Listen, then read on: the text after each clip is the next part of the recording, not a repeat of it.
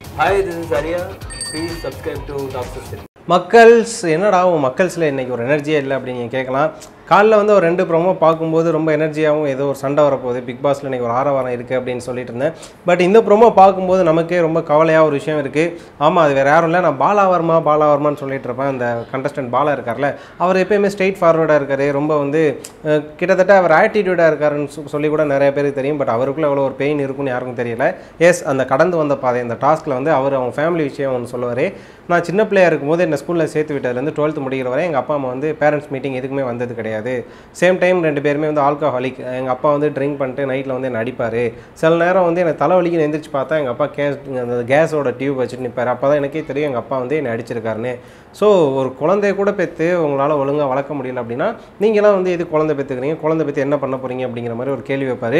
இந்த கேள்வி வைக்கும்போதே பார்த்தீங்கன்னா அந்த ஹவுஸ்மேட்ஸ் எல்லாருமே கேப்ரிலாவாக இருக்கட்டும் அப்புறம் ரேகா பின்னாடியே நம்ம சுரேஷ் சக்கரவர்த்தியாக இருக்கட்டும் அப்புறம் ரியோ பிரதர் எல்லாமே ரொம்ப ஃபீல் பண்ணிவிடுவாங்க இந்த விஷயம் முடியும் போதே ரியோ பிரதர் வந்து ரொம்ப எமோஷன் எமோஷனோட ஒரு ஹக் பண்ணி ஒரு ஸ்ட்ராங்கான பாண்டிங்கில் ஹக் பண்ணுவார். அதுக்கப்புறம் ஜித்தன் ரமேஷும் ஒரு ஸ்ட்ராங்கான பாண்டிங்கில் ஹக் பண்ணுவார்.